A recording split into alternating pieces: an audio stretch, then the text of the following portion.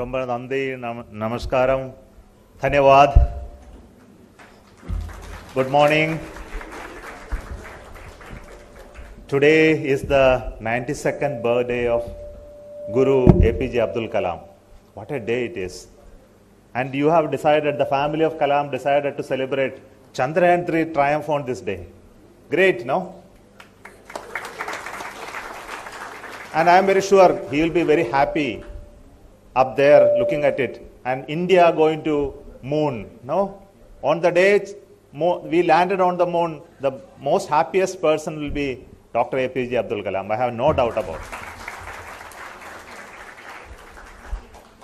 All those who are on the dais from the kalam family amma nasima ji our uh, Janul Abdin ji, Chinnadurai, Joseph Rajan, Venkateshwar Sharma ji, and all the family of uh, APJ Abdul Kalam, all the teachers, students, uh, सभी को मैं नमस्कार धन्यवाद। सबको देखे देखे मुझे बहुत खुशी हुई है आज कि हम doctor A P J Abdul Kalam का नाइन्टी सेकेंड बर्थ एनिवर्सरी को सेलिब्रेट कर रहे हैं। इसी समय पर हम ये चंद्रयान थ्री के ट्रायम्फ के बारे में बातचीत करते हैं। हम इसरो के बारे में बातचीत करते हैं। सभी देखा है च- चंद्रयान लैंडिंग किसने देखा those who those who have not seen it please raise a hand those who have seen it are okay so you go and see it in youtube now okay you go and see in the youtube it is all there how it came and landed so precisely is it not it came and landed on the moon at the near to the south pole so precisely can indians do this Are you sure india can do this Yes. Ah, that is the point. It's not just that that uh, we landed like America on the moon. America can do anything. Can India do this? Yes. Ah, that is where we should do. Huh? Ah, we can do more than this. So that is why it is important.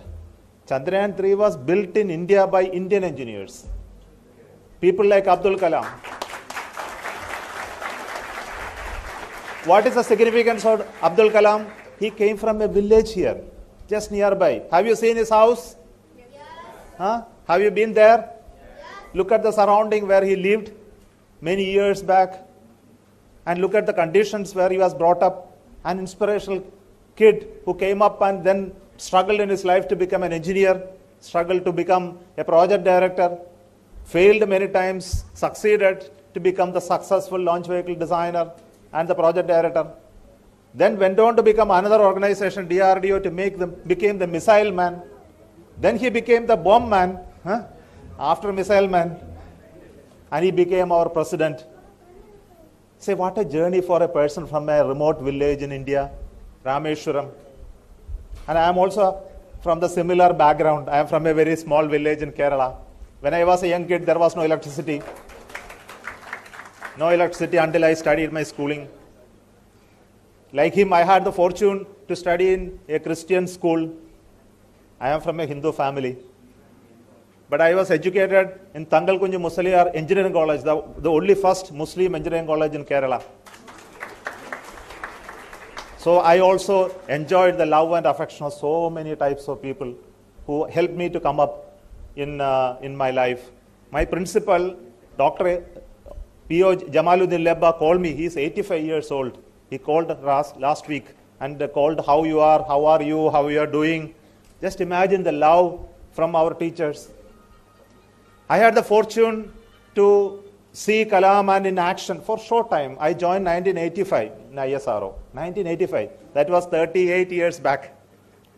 Many, so many years gone. I, I still have not felt 38 years. I am feeling yesterday only I joined as ISRO.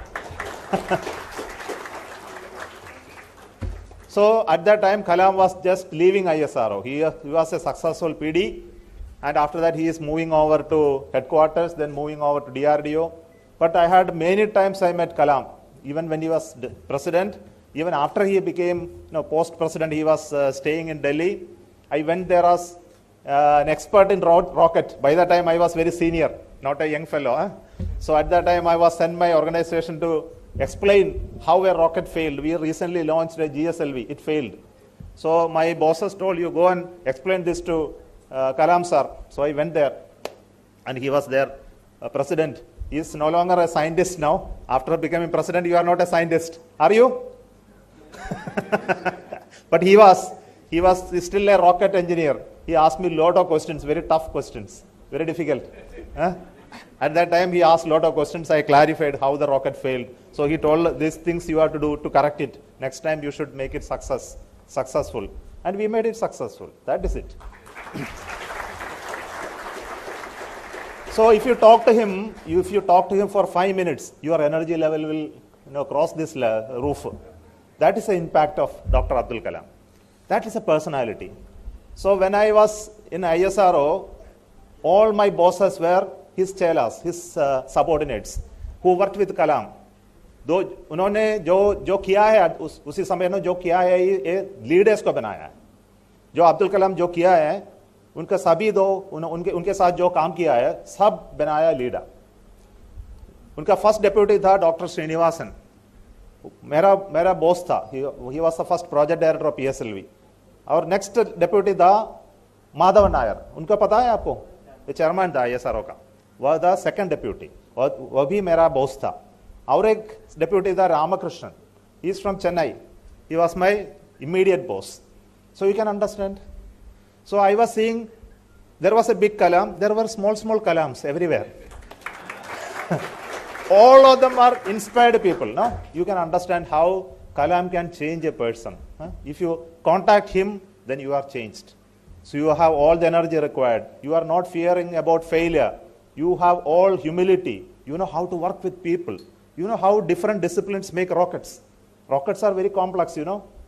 Have you ever seen a rocket? How many of you have seen rocket ta- taking off? Very less people. No, it's not enough. You should all come to Sriharikota. So how you are making a decision today? You are going to come to Sriharikota and see a rocket launching. See, see and feel the sound. It will make you, you know, vibrate inside. No, your heart will pump a little faster. huh? So come there and feel the sound. Then you will know the energy of launching a rocket. So it is such a mighty experience. I have not seen till now a rocket directly. huh? launching. All the time rocket launches happen, I am sitting inside the control room. I see only on computer the rocket launching. So after retirement, I will see one day rocket launching. so I have been sitting for last 60 launches of PSLV, GSLV, GSLM R3, SSLV, all launches. I sit in control room. huh? I never got a chance to see directly. So you you may be seeing me in TV, you know, many times. huh? So all that I have been sitting like that for last so many years. never got a chance. See, the contribution of Abdul Kalam is in bringing up people. People with great passion, people with energy, people with dedication to serve our nation, our country. This is what he did. We all believed our nation is a weak nation. It is not so. Our country is very powerful nation. You understand that? We have our knowledge and intelligence level in this country is one of the best in the world. See, in Chandrayaan 3, when we designed, we called uh, uh, JPL, Jet Propulsion Laboratory, Caltech. You have heard about it, in America? There is a university who does all the rockets and most difficult missions. NASA JPL. So they came here. Five, six people came from NASA JPL. We explained everything, Chandrayaan 3 to them. And they were all surprised to see, oh, in India you are building such a craft. It was before landing. And we explained how we designed it. Our engineers designed, our engineers made it. We explained how we are going to land. And finally, they said, we have no comments. Everything is going to be good. Huh? And they also said one thing. See, look at the instruments. They are so beautiful. They are very cheap, very easy to build, and they are high technology. How you built it? Why don't you sell something to America? They are asking. So you can understand that now. Times have changed. We are capable of building the best of the equipments, best of the devices, best of rockets in India. That's why our Honorable Prime Minister Narendra Modi ji has now opened the space sector. Have you heard about it? Opening of space sector. Now we are telling you young people come and build rockets. Young people come and build satellites. Young people do uh, applications and make our nation more powerful in space technology.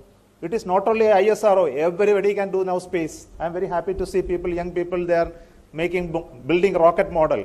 They are not building models. I have seen young people building actual rockets. There is one company in Chennai building Agnikul. There is another in Hyderabad building Skyroot. So there are There are people building rockets. At least there are five companies today building satellite in India. Do you know that? So when this change is happening, I think we should all be proud. All came from people like Abdul Kalam. So I bow in respect to Kalam. It was a time when people like Kalam was required. Who is Kalam? Who is APJ Abdul Kalam? He's a saint. He's a saint. He's not a scientist. No, when you merge a scientist with a saint, a person with technical knowledge and with a spiritual heart, when you join together, you can do magic. You can understand the heart of things. You can move people. You can give them directions. You can make them do things which nobody else can move. I think that is what is required. And each one of you have that capability. Every child in this nation is like Abdul Kalam. Only a burning, inspired heart is only required. You don't need anything else. There is one statement, very important statement Knowledge is very limited. You know, knowledge is very limited. You know only what you have studied. You know, don't know anything beyond. आपको सब आपको समझ सकते हैं क्या हिंदी में अ, English में बोल, बोलते हैं आपको समझ सकते हैं क्या अच्छा okay so if you have knowledge it is very limited but what is not limited anybody knows dreams. If you start dreaming, you can cover the entire universe. You can dream about going to moon. you can dream about going to Mars. You can travel beyond solar system. You can go to the end of the galaxy. You can see all what is happening. No, only dream. So if you do not, the most powerful tool in your in your hand is dreaming. And Abdul Kalam sir told, when you should dream, you should dream when you are awake, not at the night. So happy is dreams you see and sleep. No. The dreams that you see should be the one which will keep you awake. That will not allow you to sleep. So anybody has such dreams? Anybody want to go to moon and land on the moon? See, when we landed Chandrayaan 3 on the moon, I declared to Honorable Prime Minister, Sir, India is on the moon. And he, and he replied, and he replied that and now, Honorable Prime Minister is asking, when are you sending one Indian to moon? So, some of you who are sitting here will do that job. Some of you will design the rocket which will go to moon.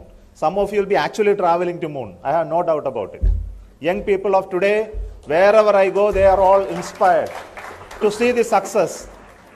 And at the land of Kalam, with the family here celebrating his 92nd birthday, and, and they are celebrating Chandrayaan triumph. Why they are celebrating Chandrayaan 3 triumph? It is for making Chandrayaan 10 successful. No? And when you go in Chandrayaan 10, one of you will be sitting inside. And most probably a girl child. a girl astronaut will go from India and then land on the moon. I think that will happen. It may not be 2047, we don't have to wait. Honorable Prime Minister say in the Amrit Kal, next to 25 years, we should do great things to make India a very powerful country. And in that, space technology is required. I told Honorable Prime Minister, we don't have to wait till 2040. We have to go only up to 2047. We will do it much earlier than that. And we want to do it, and we make young people inspired. I think that is the life of Dr. Abdul Kalam, taking all of us along in the journey of space technology. I'm thankful to you for organizing this event and making everybody inspired. And also, I bow in front of the life of Dr. APJ Abdul Kalam, who has dedicated himself to the nation. Whatever work he did, whatever words he spoke, was inspirational. He told the power that is available within is unlimited. I think all of us have to find out what is that power within you. And it is a responsibility of each one of us to contribute to the nation building. And India will be a powerful nation one day. Will it not be? India will be powerful. And in which area will be powerful? You know? In technology. In technology, will be powerful because only if you have technology, others will respect you. Whenever, when I went to recently to a space conference, every people from NASA, ESA, China, Europe, everybody comes and congratulating me for Chandrayaan 3. Why they are doing it? Because they realize India is going to be a powerful nation. It's better you be happy with India. So we must have confidence in it. We must also think that we were once a very powerful nation with with so much of capacity, and we were drained out due to various reasons. Today, it is a golden era that is coming back. In the next 25 years, we have to build back an India which is prosperous, technologically prosperous, and naturally will become economically prosperous. And if you are economically prosperous, you should be able to influence the world decisions. You will be able to influence the world such a way that we will live peacefully. And India will become a nation where every individual in the world will like to come and stay here. So you can think of a place you want to go and stay. Ramanathapuram will be a best place to stay. And I thank once again, Vanakkam, Nandri, thank you, Dhanyavad, for this opportunity given to us, for me to come here and speak about on the day of Kalam's birthday and the family also, Amma, Appa, and all their family members.